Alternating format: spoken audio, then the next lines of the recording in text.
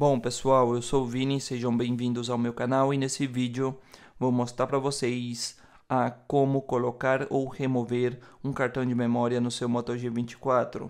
Primeiro passo, você vai precisar aí de uma chave como essa, que vem dentro da caixinha do telefone, ou pode usar também de outro celular. Caso você não tenha, use um clipe desses de segurar folha ou algo parecido.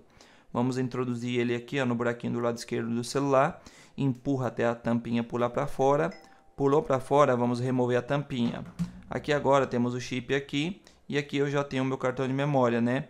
Ele vai de boca para baixo, você vai colocar ele aqui, bonitinho, para encaixar bonitinho. Tanto para colocar como para tirar o processo é o mesmo.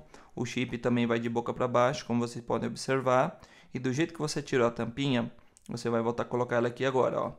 Beleza? Aqui agora para ter acesso ao cartão de memória, o conteúdo dele dentro do nosso celular, a gente vai entrar aqui, vou mostrar para vocês. Vou desbloquear o celular para ter acesso ao cartão de memória.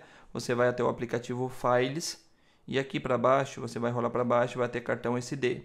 E aqui você tem tudo do, do, do seu cartão de memória aqui dentro, nas pastas. Caso você não encontrar aqui o que seja, pode ser que passando na tela aqui nas notificações, você procura a notificação do cartão de memória, que é o cartão SD, e procura se não aparecer algum erro. Se, apare...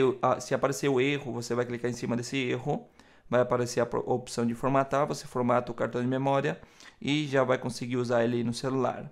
Então, se eu te ajudei, pessoal, não esqueça do like, deixe o seu comentário aqui embaixo, ajuda bastante com o engajamento do, do, do vídeo. E se for possível, me dá uma força aí para chegar aos 500 mil inscritos e se inscreve no canal.